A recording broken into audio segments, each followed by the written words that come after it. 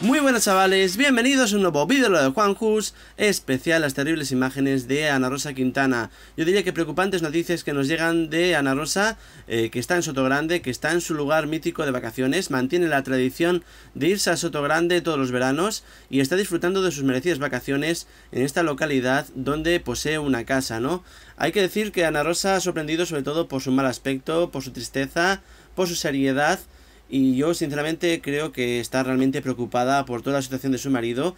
Además hay que recordar que se despidió del programa de Ana Rosa entre lágrimas, diciendo que había sido un año duro de noticias, pero creo que también había sido un año duro para ella misma, ¿no?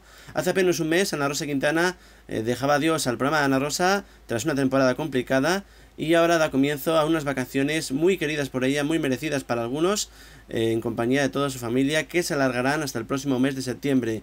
Como cada año, la periodista se traslada, como os digo, a Soto Grande, Cádiz, junto a su marido Juan Muñoz y a sus dos hijos Juan y Jaime.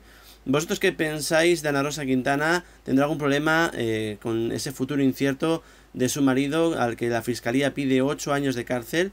¿Pensáis que la acabarán llamando eh, debido a esas grabaciones que existen en los que dejan mal lugar a Ana Rosa diciendo que era conocedora del tema de la trama de chantaje de su marido? Comentar, opinar, darle like al vídeo, suscribirse para más noticias y nos vemos en un próximo videolog. ¡Chao! Si te ha gustado este vídeo, dale a like y suscríbete con campana para más noticias. Y si quieres conocerme, visita también mis vídeos diarios. Tienes cadena Juanjo Blog para más información de la forma más amena. ¡Nos vemos!